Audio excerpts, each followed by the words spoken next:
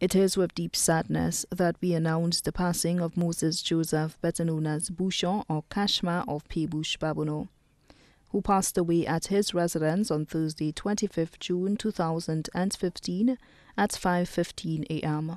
He was 72 years old.